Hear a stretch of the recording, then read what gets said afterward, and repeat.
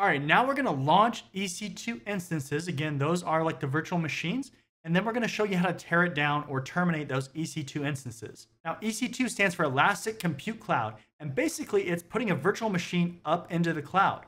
You can do all kinds of different operating systems and different storage sizes for their hard drives and whatever you want to do as far as different functions for these servers or systems.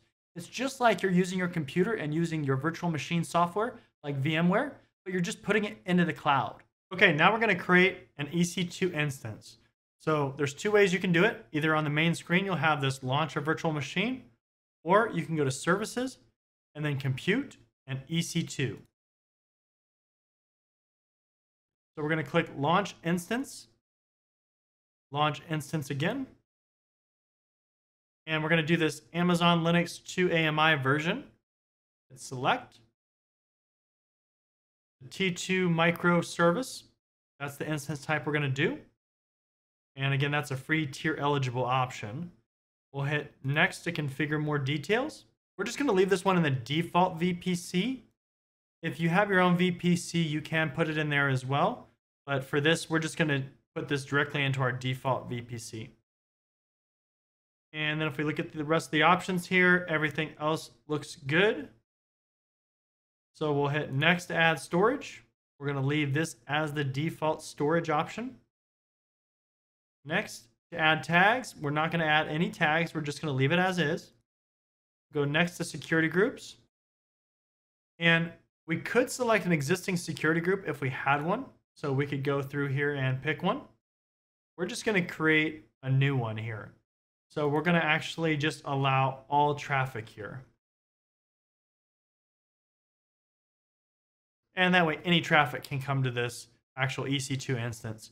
We're going to get rid of this soon. So this is not a great practice to do if you're going to leave your EC2 instance up because it's on the internet, internet facing. A lot of people can hit this system. So you got to be really careful with this. These are kind of like firewall rules. And the source, we're going to allow it to come from anywhere. Same thing, this is not a great practice if you're going to leave it up, but we're just doing this for illustration purposes. So review and launch. Everything looks good, and we'll hit launch. Now for this, if you don't already have a key pair, you need to create one so that you can connect in with something like SSH. So to do that, you do create a new pair. The key pair name, we'll do test user 2, and we'll download that key pair. Now we're going to do launch instances.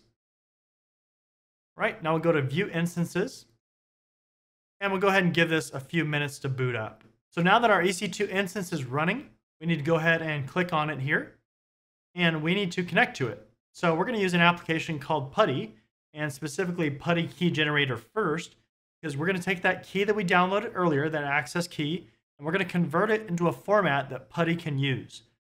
So we're going to go to conversions, import key, and we did testuser2.pem as the file that we saved earlier. So we'll hit open and we'll click save private key. We'll select yes and test user 2 dot ppk and hit save. Okay, so now we're going to actually SSH into the system. So we need to actually copy the IP address. So we'll click right here on this little square. We'll bring in PuTTY and we'll go ahead and put that into the host name. We'll then go down to SSH. We'll expand this out and go to auth and then we need to browse for that private key that we just converted. So here it is, test user two. And then we will hit open. Now you're going to get a login screen that looks like this, asking for the username. So now what we need to do, because you might not know the username, is we will hit connect on the EC2 console. And this gives us the username of EC2-user. If we bring this back over here and we type ec2-user, that's going to allow us to actually log into the system.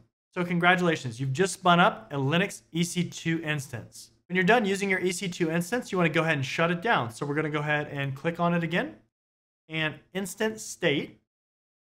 we actually want to just terminate this because we're done using it. But you could do stop or reboot, all those different options from here. So I'm going to do terminate, and I'm going to go ahead and terminate it.